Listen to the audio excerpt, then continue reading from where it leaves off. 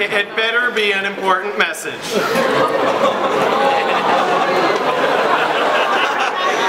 this is not a library. Won't cut it. Neither will SEAS 150th anniversary for 12 years in a row. That's why No Red Tape's recent projection of Columbia protects rapists and rape happens here was particularly symbolic. Just like Je suis Charlie was symbolic of solidarity for people who bite fingers.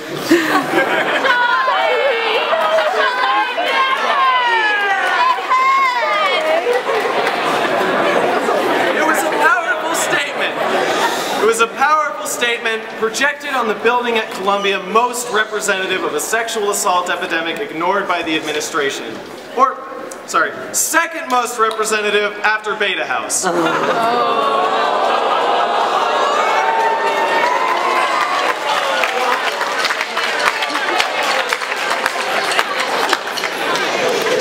Man, those frats sure do a lot of raping. Jesus! But it, would, but it wouldn't be a Columbia anything without controversy. We in the band were always under the impression that protests were supposed to trigger change, not people.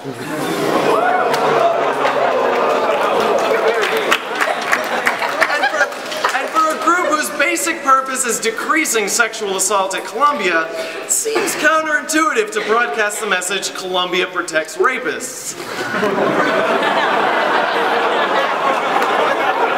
you know who that helps? Do you know who that helps?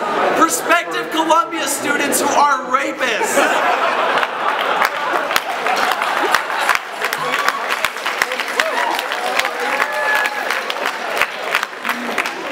An army of high school creepers is now thinking, yes.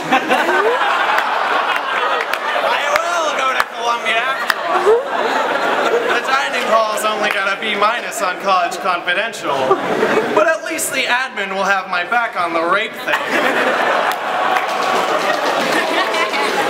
then, then there's the issue that most people, especially survivors, don't want rape thrust upon them as they're walking around campus at night. In fact, it seems like people who don't want rape, people don't want rape thrust upon them as they're walking around campus at night should be the first sentence in No Red Tape's mission statement. And despite the fact that a systemic problem like sexual assault is the accumulation of many terrible, heartbreaking stories, so much of the discussion at Columbia and the New York Times, Jezebel, Rolling Stone, Pro Bible, and Sleepy's Mattress Monthly newsletter around only two people and one night, August 27th, 2012. Yes, the 840th anniversary of Henry the Young King and Margaret of France's coronation. Wrote that joke. That was me. Ultimately, when you reduce your movement down to a single case, the scope of your message becomes as narrow as a twin XL.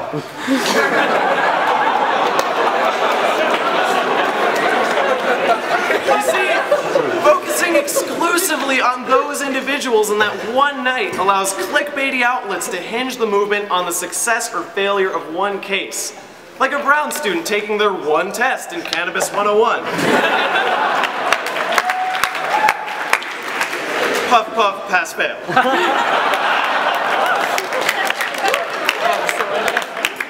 You see, writing listicles titled 12 Disney GIFs that prove that Emma is the only person fighting rape, or on the other hand, five reasons Emma's a slut if Columbia loses its case against Jean Paul, none of that really helps the cause.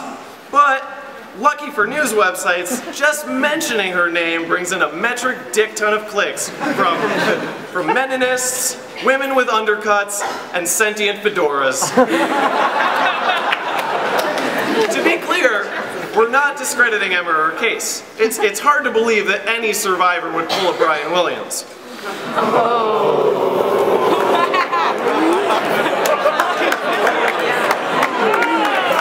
That was serious. Brian Williams. It's hard to, like, yeah, that's, that's a fact. But leaving it up to Brian administrative Williams decisions fans. also isn't smart. The administration treats sexual assault hearings like the infamous dressed. Everyone has an opinion before they've heard any of the facts. They debate it over the course of a few days, and then they totally forget about it. In honor of slowing progress, the band forms a perfect union between bloggers and admins and plays Happy Together.